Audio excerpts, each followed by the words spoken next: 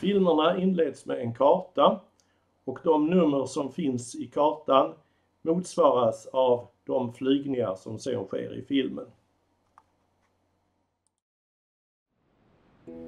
Vi flyger an den stora skärgårdsön Arpe från nordost. Arpe ingår i naturreservatet Listerby skärgård. Och eh, det är tre stora öar här. Det är Arpe, Släde och Vangö.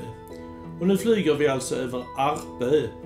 Och alla de här tre öarna har varit bebodda och brukade på ett ålderdomligt sätt under lång tid. Små åkrar där vi kan fortfarande skönja de här öppna ytorna. Och sen har det varit bete i övrigt över stora delar av öarna. Eh, och eh, vi ser nu söderut och till vänster är det Arpe kalv kallas den ön och längre bort ligger Skrävlingarna och några andra små ögrupper och eh, de här småöarna de är väldigt värdefulla som häckplatser för en hel del eh, rätt sällsynta sjöfåglar. Till exempel har här häckat skräntärna och roskar. Nu ser vi den här klippiga ön dominerad av enebuskar som heter arpekalv. Det här ordet kalv det används som eh, småöar eller halvöar som sitter ihop med större öar. Så eh, ja, det är ganska kul. Här har vi den stora Arpö och så har vi Arpös kalv bakom det här. Ja, vi eh, tittar tittar ut över Arpö och man kan tydligt se att där det är väldigt kalt, där kan enebuskar i sprickor slår rot. Men där det är lite mera jord, eh, där har vi, nu när vi flyger här precis i början av maj, eh, ett grå, gråaktiga träd. Det är ekar som ännu inte har slagit ut. Men samtidigt ser man hur det finns eh, ljusgröna träd och det är rätt mycket sälj och det är björk och någon enstaka bok som utgör det här gröna inslaget. Och sen är det ju djupgröna träd också och det finns både tall och gran här. Men mest är det alltså ek som dominerar. Och här på Arpö finns det flera mycket grova ekar. Eh, bortom den lilla vassviken vi ser till vänster om vassviken ligger ett område som har betecknats som eh, ek-lindurskog. Eh, jag skulle väl nog påstå att det är urskog att ta i, men den har en, fått vara i väldigt mycket för, från såg och yxa. Och så lämnar vi Arpe och flyger an mot eh, Släde. Släde är lite kargare och här dominerar tallen ganska mycket. Eh, och eh, Släde har också varit bebyggd men vi kommer passera precis det lilla området som har kunnat användas som åker. I övrigt har det varit bete som har helt dominerat. Bortom Släde ser vi en stor ö och det är, är Torkö. Och den har en sån här liten kalv till vänster nu försvinner ur bilden. Torkö kalv. Men vi flyger nu över de här talldominerade, det är lite blandat tall och ek som finns här på Släde. Och eh, vi eh, fortsätter framåt och vi ser en liten ö här som är omgiven av något kan säga, ljusgult fält och det är alltså vass. Och även vid kanten här av eh, Släde så har vi rätt stora vassbälten. Eh, nästa ö som dyker upp det är då Vangö. Och Vangö har också varit bebyggd. Och här ser man en klar skillnad till vänster ekskog och sen ene mark rakt fram. Och de här enarna det är de har koloniserat före detta åkrar.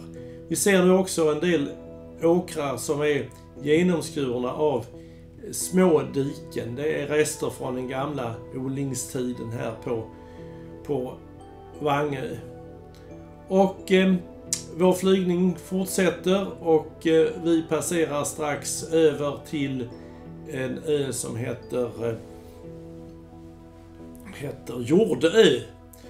Jordö hänger idag ihop med den större ön Almö. Men nu är det Jordö vi ser framför oss.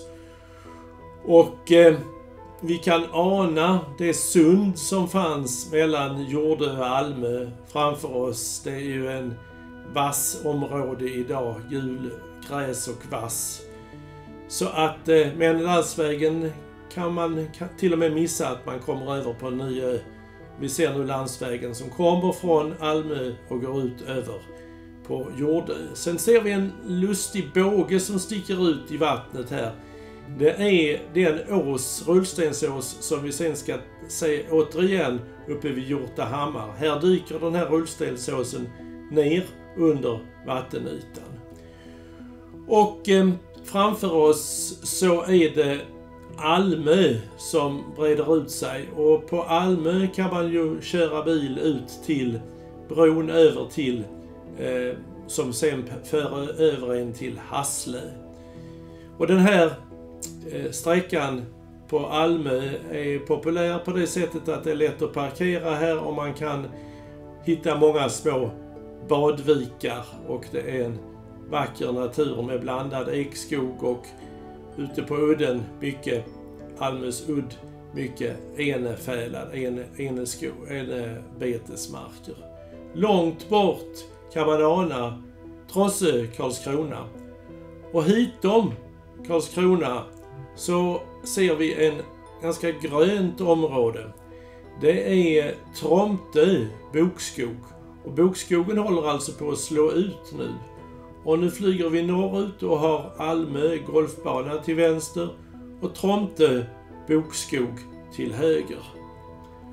Och eh, flyger in i den här viken mellan Almö och Tromtö. Och då kan man rätt snart se hur här är mängder med vita prickar i vattnet.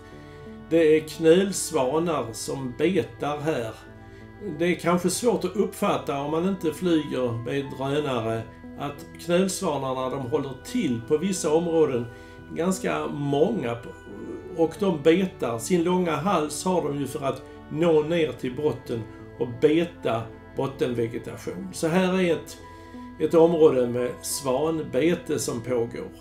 Udden vi når fram till nu heter Hjortahammar och är en av Blekinges största och mest spektakulära eh, järnåldersgravfält och den beskrives i en annan rödarfilm. Och nu kommer vi till eh, eh, Hammarö och eh, Be Hammarholmen och Betesholmen heter de här två öarna. Och så flyger vi söderut igen längs landsvägen söderut på Almö. Och eh, då ser vi ju naturligtvis golfbanan här som breder ut sig. Men också att det här är mycket ekskog och så en och annan bok och en och annan sälj och björk som ger det här gröna inslaget. Och långt ut mot havet så ser vi eh, faktiskt den här Arpe kalv och eh, Arpö på högra delen av bilden. Och eh, sen löper ju landsvägen ut mot Hasslö. Ehm, snart så dyker det upp återigen ett ganska stort område med gles ekskog med inslag av lite andra lövträd. Och då, det är alltså sådana här glesa ekskogar eller ekhagmarker som är karaktäristiskt för det här området med de här Listerbys skärgård och eh, de här stora öarna. Och det är eh, en, en mycket attraktiv naturtyp, mycket vacker att vandra i och den innehåller eh, mycket intressant biologiskt och man kan ofta också stöta på olika eh, fornlämningar i de här. Och så slutar vi med att komma fram till den här eh, udden som är en fortsättning på Hjortahammar och här dyker den ner under havets yta.